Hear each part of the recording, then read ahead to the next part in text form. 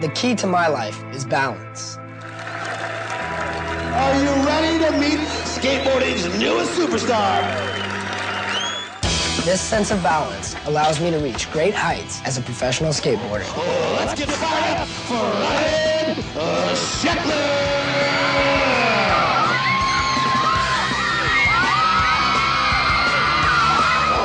But off the board is another story.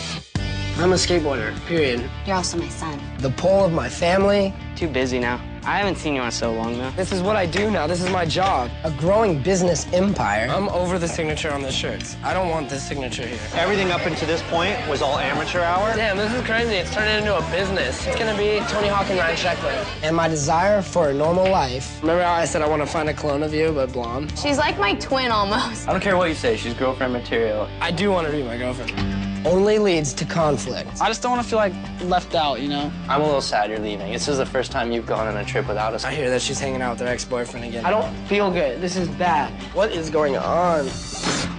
This year, I'm traveling more than ever. You come home on the 14th and you go to Arizona. Then we go to Dominican Republic.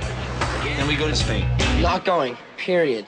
Just when my family needs me the most. So he's taking me back to court. Ryan Sheckler, do you know what I do for you? She wants me to stay at home. She doesn't want me to move out. What's the whole deal with mom having to get an attorney again and going back to court? What do you want to know? I just want to know why.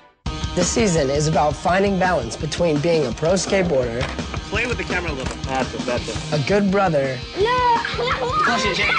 and enjoying life.